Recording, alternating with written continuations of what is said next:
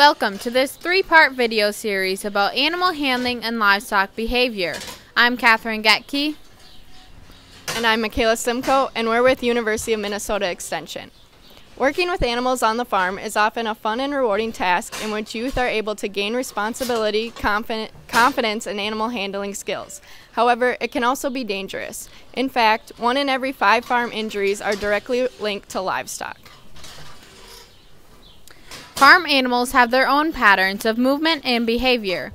This video will be focusing specifically on sheep, dairy, and beef cattle behavior. While working with these animals, understanding and recognizing their behavior is key to the safety of both people and livestock on the farm.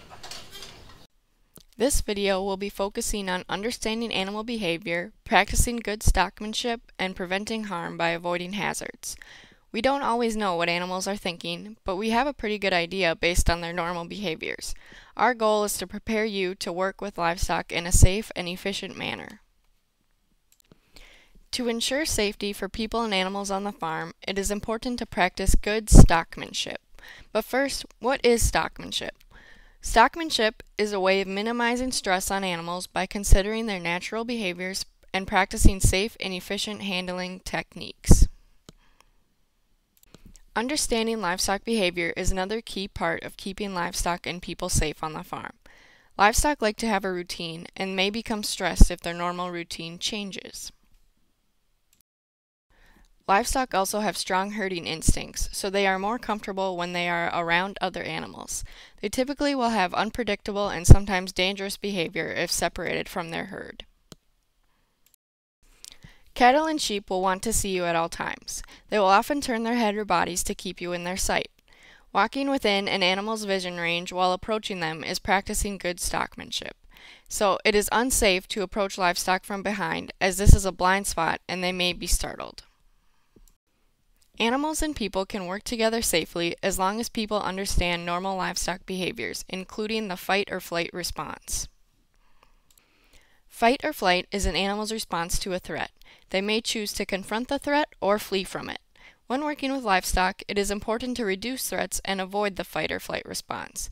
To do this, we need to take livestock pressure zones, flight zones, and blind spots into consideration. Animals have a zone of comfort in which they will behave normally. The pressure zone is the area in which an animal will begin to notice and react to the presence of a human or other threat. Once an animal realizes that you are in the pressure zone, they may move their head or take a step away from you. This space is a different size for every animal and largely depends on how tame the animal is. The size of the pressure zone can also be affected by the excitement level and the angle in which you approach the animal. Like humans, livestock have a personal space, and when someone enters this area, livestock try to move away. This is called the flight zone. If you move outside the animal's flight zone, it will turn to look at you. This space is closer to the animal than the pressure zone and can also vary in size among animals. The blind spot is the area directly behind an animal, between the ears.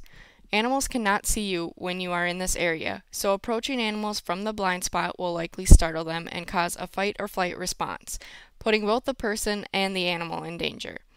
It is recommended to approach livestock at an angle in which they can see you coming to avoid a fight or flight response.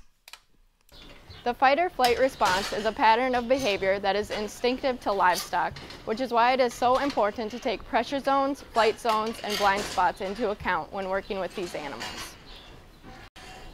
Please join us for our next segment about recognizing hazards and safely moving livestock.